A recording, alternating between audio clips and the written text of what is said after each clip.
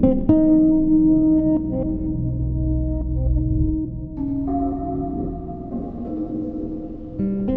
found Walter Disney's Frozen Face by Soulz Studios. If anyone copy and paste this blog post someday, please make sure that I remain anonymous to prevent legal trouble with Disney as I have broken many rules in most of their parks. Sometimes I illegally release Disney films online on my own private website.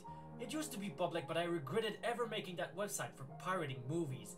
And Disney tried to take it down with a DMCA, so I had no choice.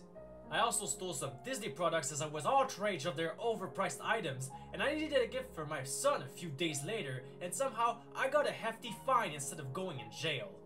I also was rude to staff members and littered all over the parks. I got at least two months of jail time because of all of these. In my last heist, I wanted to have revenge by sneaking into the employee-only areas at Disneyland and sneak into the park at closing hours.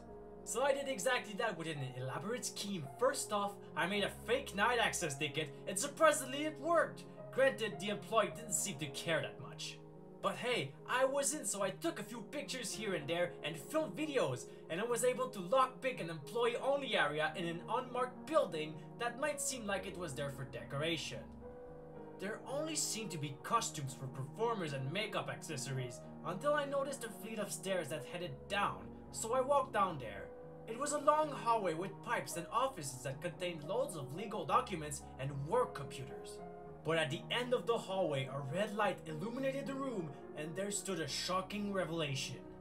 It was a morgue that contained deceased clients that passed away at Disney parks. They were meant to be sent out to different locations to be buried. In the middle was the most frightening showcase I have ever seen.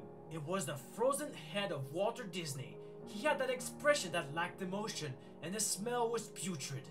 Underneath in the pedestal, there was electricity and what seemed to be organs. His eyes were opening and closing, and the head let out some painful breaths. Before I could process what was going on, guards came in and kicked me out of the park, and they threatened me to keep quiet about what I had witnessed. But no, I had to tell the truth. Walter Disney is about to live again to reign upon Disney forever.